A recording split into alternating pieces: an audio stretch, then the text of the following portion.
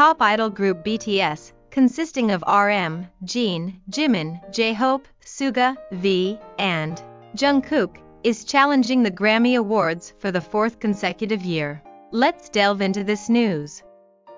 BTS has submitted their works from this year's activities to the 66th Grammy Awards, which will be held on February 4, 2024. AS members Jin, J-Hope, and Suga have started their military service, leading the team to a temporary hiatus. The Grammy submissions for BTS this year primarily consist of the members' solo tracks. Since 2021, BTS has been nominated for the Grammy Awards three years in a row, but has yet to secure a WIN.TO list a few.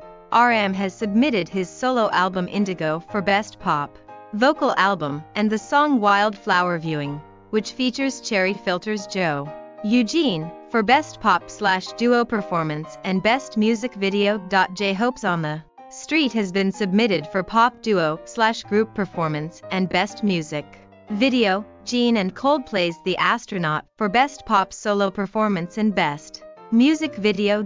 Suga's D-Day for Best Rap Album and Levantamiento for Best Rap Performance and Best Music Video, particularly Jimin's Face has been submitted for Best Pop Vocal Album and Like Crazy for Record of the Year, Song of the Year, Best Pop Solo Performance, and Best Music Video. Furthermore, the song Angel PT1 from the movie Fast and Furious, Ride or Die, comma, in which Jimin participated, is up for Best Pop Duo slash Group Performance. Jungkook's hit single 7 has been put forth for Record of the Year, Song of the Year, Best Pop Duo slash Group Performance, and Best Music Video. V's Layover is also in the running for Best Pop Vocal Album, while Slow Dancing has been submitted for Best Pop Solo Performance and Best Music Video.